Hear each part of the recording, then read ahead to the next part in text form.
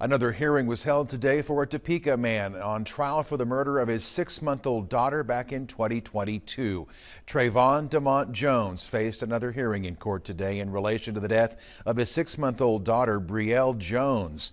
Brielle died from apparent blunt force trauma March 30th of 2022. District Attorney Mike Kagay says the child's mother also suffered blunt force trauma related injuries.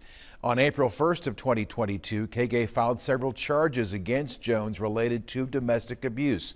Jones is on trial for first degree murder and also an alternative count of murder in the second degree, two counts of aggravated battery, two counts of child abuse among other charges.